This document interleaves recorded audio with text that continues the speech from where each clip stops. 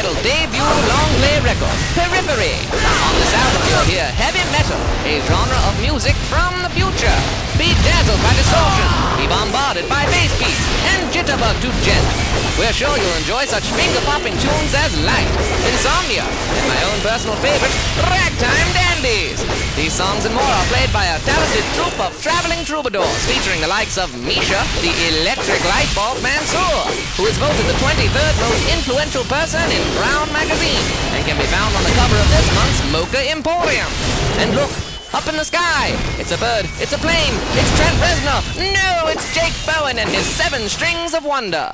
Rounding off the trio of stringsmen is Alex Bois, the man with the arms of steel and the arse of a skunk! On drums is Matt Halpern, the only man who can break three cymbals with one swing of the stick!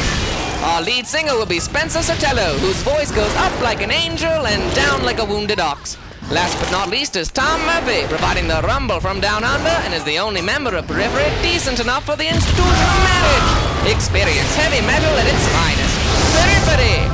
Love that shit! Strip away all the excess components What's on to white Personalities